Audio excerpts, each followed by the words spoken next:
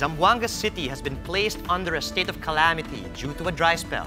The Disaster Risk Reduction Management Council says the lack of rain caused water shortage in the city and in nearby farms. So far, 55 hectares of rice paddies have been damaged due to the drought.